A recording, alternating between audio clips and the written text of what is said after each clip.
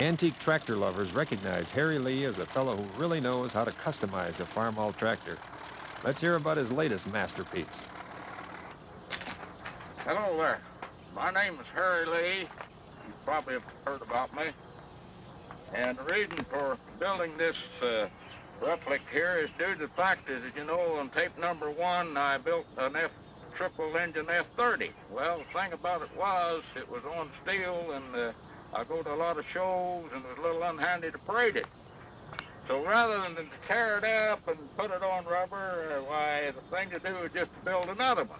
So, then as that was F-30, I decided to build one out of F-20 and put it on rubber and uh, with a starter on it and some of the optional equipment we had back there in 1938 and 39 on the F-20. So we call this thing the F-20 60. I carried this in the shop piece at a time, started in with the rear end right here, and had the length of the frame nine inches, of course.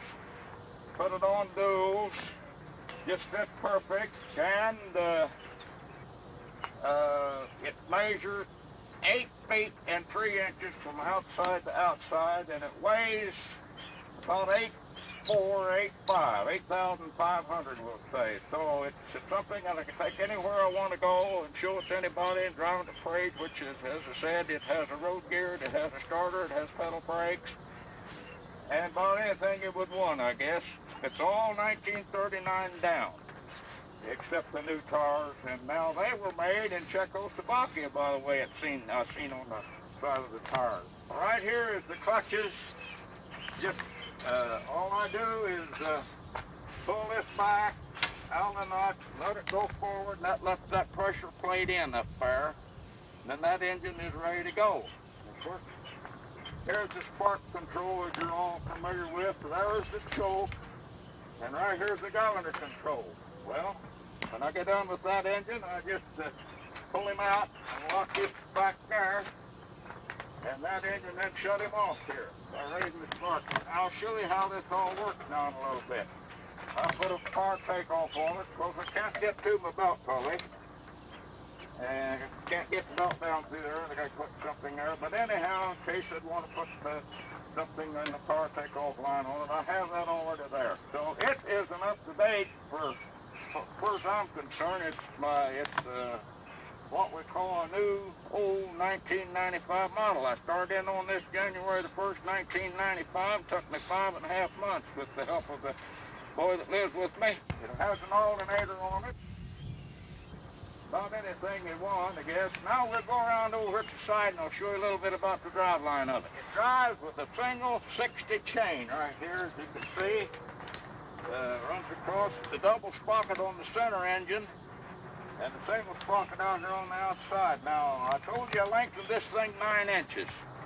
I lengthened the center frame on the center tractor. The engines have been basically going through, got three brand new rebuilt mags with new coils in them and everything like that.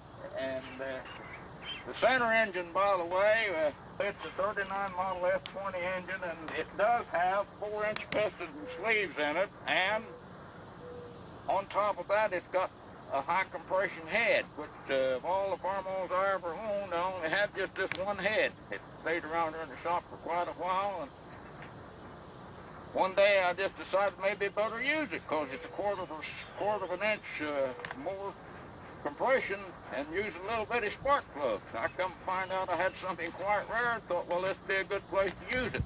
So directly when I fire this thing up, you can sure tell that that center engine is, has got it. I don't know how much, but it should turn out a, an awful good 20 horse. I think that's all supposed to put out in the first place. You're seeing the carburetor on this side. Got two shut-off valves in here, and here again you're looking at the 60 chain goes across there, and, and here's the fenders, and that's as I said, I need it just a little bit more frame length on that center engine to get it all worked right, but that's a figuring awful close. Going to slide across here, all these fans, just setting this as true as can be right across there, right in line like they ought to be, I think. Everything uh, is just as you see it. I'm quite proud of it to turn out the way it did. So here the wheels, all I had to do was just take another set of wheels and and bolt them right on. I went and bought special bolts right here. They're ten and a half inches long. And them is uh, grade eight bolts. And we got the thick and pull out of them. It just works very good. It's got a 12.4 tire on it, 36. Now I'll get that first part of that center one up for you. Start this center one up. You can watch these here clutches here. And I'll bring them engines in. Then I might take you for a little drive. If you got weak arms like I got, this pin right here, I had to take both hands. So I made an improvement, do it this way. It works beautiful, because you got that elbow and you got that hand out there. But just trying to do it this way, it's, it's kind of a job. So that was an improvement. This, this works beautiful. Anybody can work at it as long as he got two arms. He'd be in a decimate shape if have one or two off. Now we're going to fire up that center one.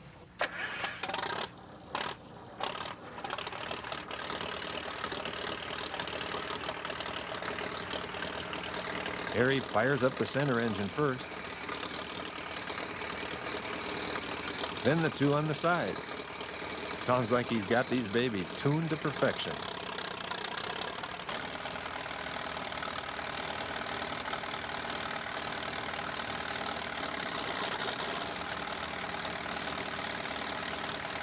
Now he'll take us for a short drive to prove that the F-2060 really works.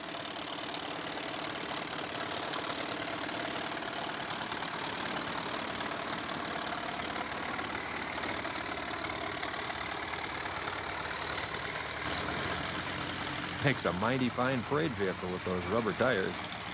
Keep up the good work, Harry.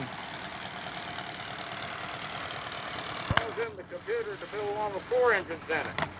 Well, if I'd done that, I'd had to use F12 and F14 stuff in order to hold my width and weight down one thing and another. I did kind of have it up this little under hat computer, but uh, I just scratched it out. Thought, well, I'll go through F20 stuff. So if I was about 30 years younger, I'd, I'd turn out one with four engines on it. It would probably be 12 and 14. So I'll just have to let uh, some of you other guys do it, and you can have a lot of fun out of it.